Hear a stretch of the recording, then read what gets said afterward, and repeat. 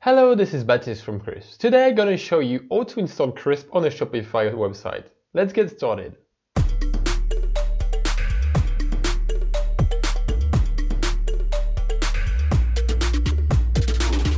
The first thing you need to do is to go to app.crisp.chat.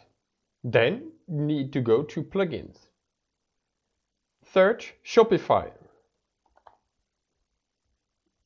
Install the plugin. Then configure the plugin.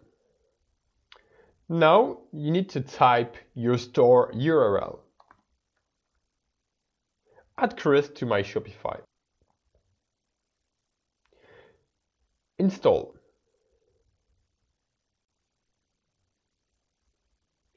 Click on Connect with Crisp. Continue. Select your website in the list. Now Crisp is installed on your website. You can check your website on page. As you can see, Crisp works on your home page. Hey there! As Crisp is now configured on our Shopify website, we can now go further by customizing our chat widget. Let's go!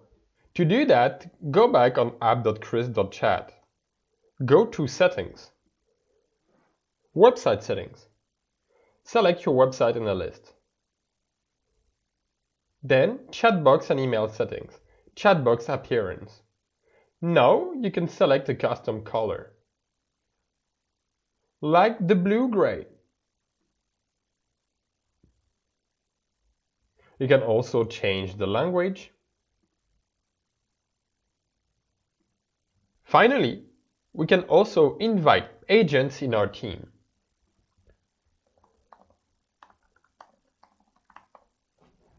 I hope you enjoy watching this video. Don't forget to go on crisp.chat if you have any issue.